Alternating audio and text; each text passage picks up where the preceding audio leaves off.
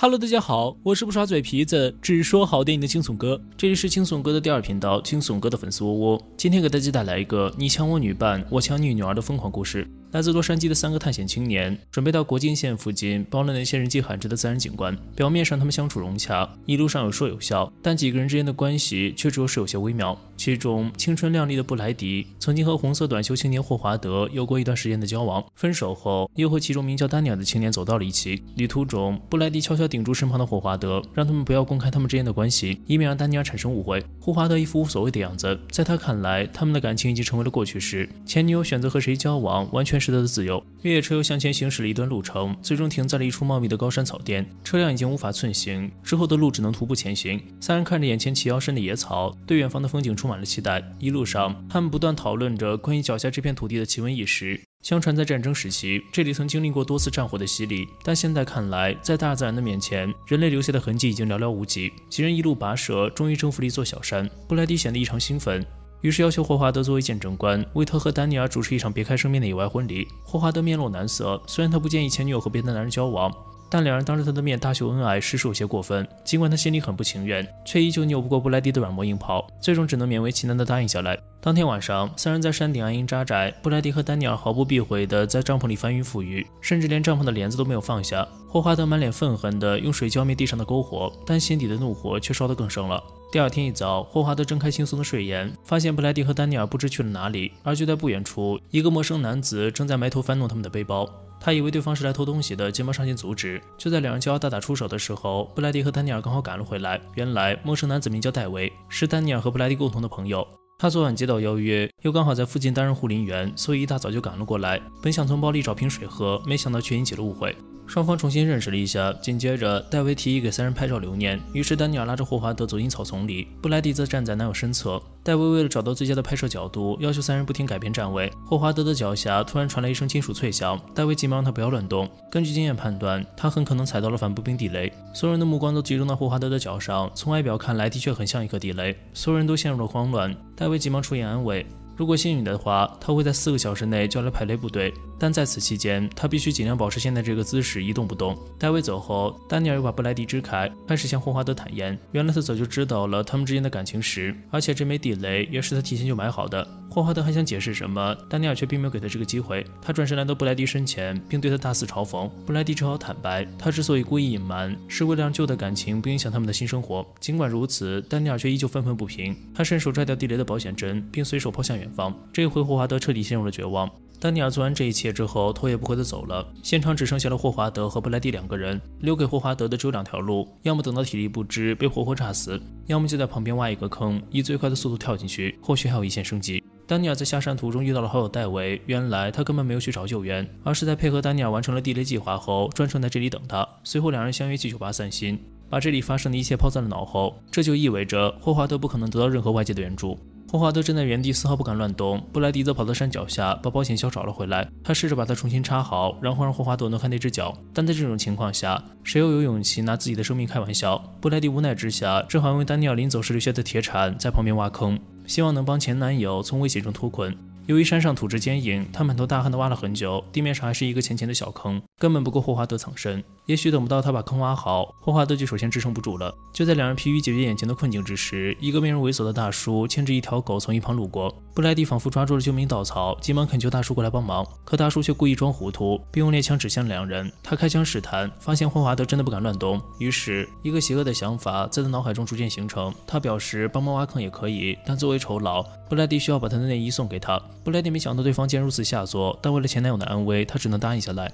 霍华德不想让布莱迪受委屈，于是急忙掏出自己身上的财物，希望大叔看在钱的份上能施以援手。但对方现在并不缺钱，只想在布莱迪身上揩油。在大叔的逼迫下，他只好脱掉内衣递了过去。大叔得逞之后，装模作样的开始挖坑，可挖了没几下，他身上的卫星电话突然响了起来。布莱迪急忙提出想接电话向外界求助，大叔瞬间来了兴趣。他给布莱迪提出了新的难题：想要使用电话，就必须像小狗一样听话。面对大叔的无理要求，布莱迪依旧选择忍气吞声。前男友落到现在的下场与他有很大关系，所以无论如何，他都会尽全力挽回他的生命。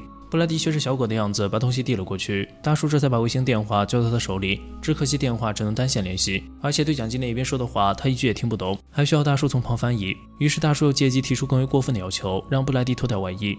布莱迪在大叔的威逼利诱之下，一件件脱掉衣服。与此同时，他需要说的话也被传了出去。可对方究竟有没有如实翻译，却不得而知。面对得寸进尺的大叔，布莱迪终于忍无可忍，听着，游戏结束了，你可以走了。显然，对方提出的要求已经突破了他的底线。大叔见讨不到便宜，悻悻地离开了。可没过多久，竟然又去而复返。他决定把趁火打劫的精神发挥到极致。布莱迪想要逃走，却被大叔放狗抓了回来。在此期间，霍华德趁机钥匙扣做成钩子，把大叔丢在地上的猎枪拿到手里。他用枪指着大叔的头，可大叔挟持了布莱迪，变得有恃无恐，并把他带到石头后面，强行侮辱了一番。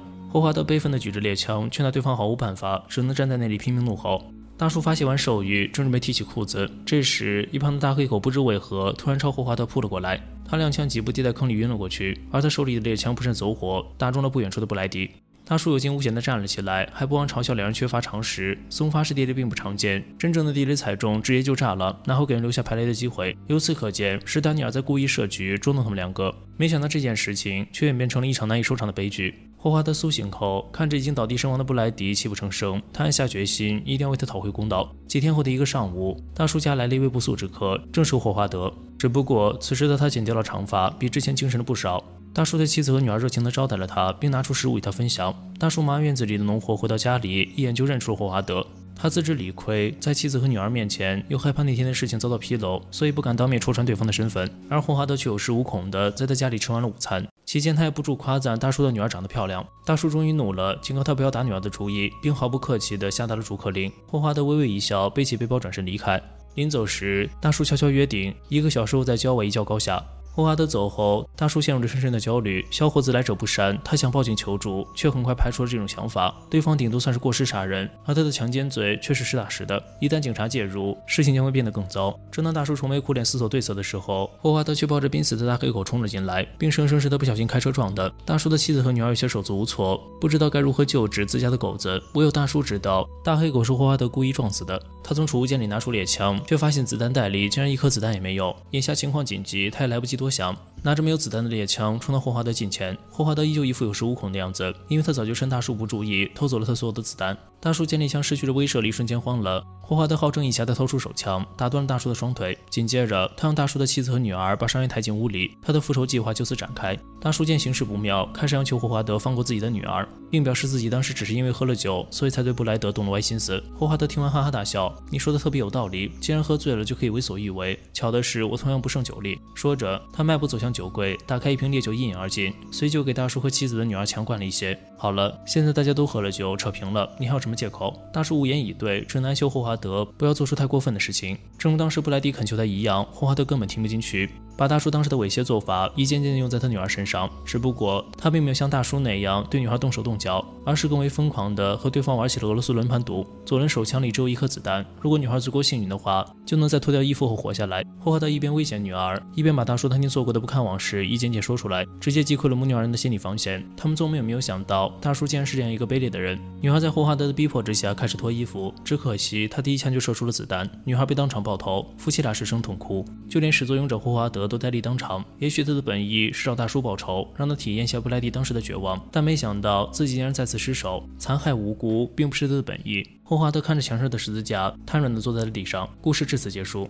电影《死亡山地》上于2015年，由列万·帕克亚执导。该片构思巧妙，立意独特。虽然同样的桥段上演两次，却因为角色的不同和动机的差异而产生了截然不同的效果。人性的阴暗面在欲望和仇恨之下被赤裸裸展现出来。男主霍华德本无意杀人，但两个青春靓丽的女孩全部死在了他的手上。故事最后，他看着头顶高悬的十字架，怅然若失。他并没有体会到复仇的快感，也不知道自己为什么会变成这样。在这场荒诞离奇的复仇闹剧中，没有胜者，更没有英雄。我们主张的复仇是让所有恶徒为他们的罪行付出应有的代价，但却不能容忍任何无辜者受到无望的牵连。对于这个故事，你有什么看法呢？欢迎在评论区留言讨论。好了，本期视频到这里就结束了，谢谢大家一如既往的支持，咱们下期再见。